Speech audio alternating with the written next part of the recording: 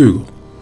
It's there when you need to know something, whether it's a cocktail recipe, you want to know how tall an actor is, or you really just want to prove something wrong. Google has it covered. But while Google may be the king of search, it is still not the best at search. That title goes to the Muppet, Grover. Well, at least it's called Grover's algorithm. Searching may seem simple, but there's a lot going under the hood to make it great. If you want to search for something, you need a list to search through and lists come in two different categories.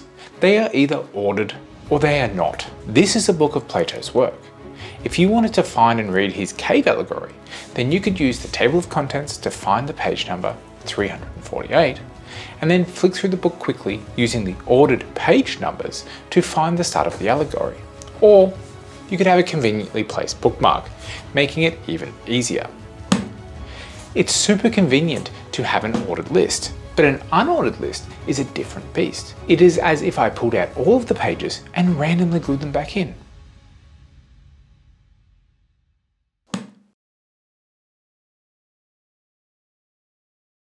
What a nightmare it would be to read a book in this state. If this were the only option, my guess is you would never read Plato's Republic. You can visualize an unordered search as a grid. Each element of the grid has the potential to be the page that you're looking for, but only one of them is correct. The question is, how do you find the page you want? You could go through sequentially and look for the right element, or you could randomly select elements to check. In either case, you would have to look on average 50% of the elements to find the correct one. This is called a linear search, and it's just not efficient. You might be lucky, and I got lazy when I was gluing the pages back in. I placed segments of pages together. This would be a partially sorted list. When you found a page with a number near what you were looking for, you could search around it and see if that segment contained the page you want. This would be much faster to search than a purely random placement, but you can't always rely on having lists like this. At some point, you'll have to search through something that is truly unsorted. The internet is estimated to have over 2 billion sites with over 100 zettabytes of data. If you're not familiar with a zettabyte, you're not alone. It's a very big number. A zettabyte is 1024 exabytes, which is 1024 petabytes, which is 1024 terabytes. A 4K movie might take up 100 gigabytes, so one zettabyte can hold 10 billion movies. To put it another way, if we imagine a gigabyte as the size of a marble, then a zettabyte is the size of the sun. If every time you wanted to find a recipe for, say, a breakfast burrito, you had to sift through all of these websites, you would get sick of waiting and cook something else long before you had a recipe. If searching the internet is so hard, how is Google so good at it? If I Google breakfast burritos, I get 57 million results in 0.41 seconds. Clearly, they are not linearly searching through the entirety of the internet for this. Google's the king of search for a reason, so how do they do it? They use a few tricks, but they mostly achieve one goal. Quickly and accurately reduce the internet down to a small section of relevant pages. They take the unordered chaos of the internet and bring order through categorization. When you search for something with Google, you're not really searching the internet. Instead, you are searching through Google's indexation of the internet. There is no central registry for the internet, so Google has to make this index from scratch. To find new websites, Google is constantly checking for new pages through finding new page links on existing pages that they already know about or other means. Once they know a website exists, they'll send a bot out to crawl the website. Basically, the bot goes to the website and notes down what's on it. This allows Google to index the website with information about what is on there so that you can search for it. But what happens when you search Google's index?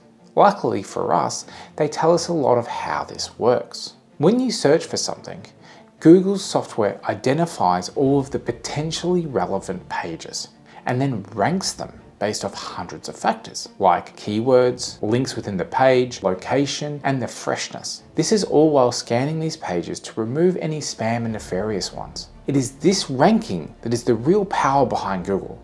They do an excellent job at identifying and ranking what is relevant. But the thing is, Google is not searching through unordered lists. If you want to do this, you need something special to do it well. You need something quantum. You need Grover's algorithm. In the 1990s, quantum computing was emerging as a field of interest. Some of the most influential quantum computing papers were all published within a few years of each other. DiVincenzo published his guidelines on how to make a quantum computer, and Shor published his famous algorithm that could factor numbers significantly faster than classical computers, which is often used to explain why quantum computers will be a significant issue for cryptography. Another big contribution was made by Grover when he published his algorithm on search. You don't need a deep understanding of quantum mechanics to understand how Grover's algorithm works. All you need to know is that we can represent our output from a quantum computer as a bunch of amplitudes of different states. And that Grover's algorithm is all about making one of these states have the highest amplitude so that we can find it. To begin with, the quantum computer has even amplitudes across all of the states. Then, the quantum computer uses a search operator that flips the state that we're looking for to have a negative amplitude. Unfortunately, in quantum mechanics, we can only measure the absolute amplitude, so we can't tell the difference between a positive and a negative one. So instead, we flip the states around the mean amplitude. It's not really important how we flip around the mean amplitude, more that we can. This reduces the amplitude of the incorrect answer while increasing the amplitude of the correct one. This process can be performed multiple times until the amplitude is high enough to be measured so that you can find the desired state. But how much better is this than standard search? Well, we measure the effectiveness of algorithms, be it quantum ones or classical ones, through how the algorithm scales with size. That is, for a list of size n, how many operations need to be performed to get the answer. For a standard linear search, this is n divided by 2. It requires half of the list to be searched on average, which is referred to as n scaling and is written as a function o, which represents order, and the argument n.